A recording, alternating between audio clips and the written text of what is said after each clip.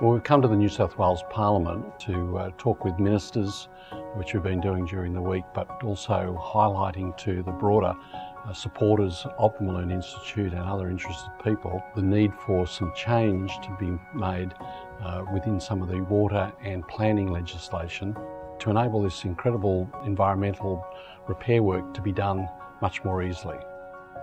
What they're trying to do is to make the approval process easier so that um, the approval process is not a hurdle for landowners to go and commence landscape rehydration works. At the moment, the approvals that a landowner has to receive from governments and councils is so onerous that they're not conducting these works. So it's to assist them so that it's no longer a hurdle or less, less of a hurdle.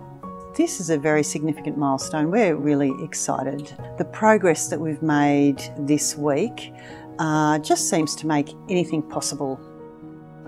Well, we've actually drafted some proposed amendments. So uh, we've given that to uh, the ministers who are keen to pass that on to their departments and, uh, and look at it. I mean, legislation and regulations are a, a complex matter and we recognise that and that's why you know, we've worked hard through our Mulloon Law Committee uh, to put forward what we believe are very workable solutions uh, to this.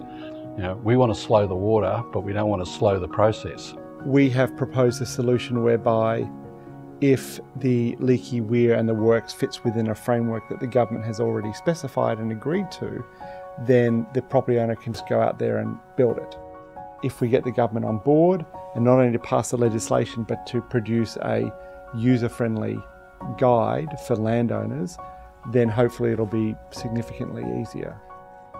I think for the Institute, uh, it would really enable us to pursue our goal of 100 projects with great confidence, and the MCLRP, the Mulloon Catchment Project itself, would become a model to be scaled up and rolled out across the nation.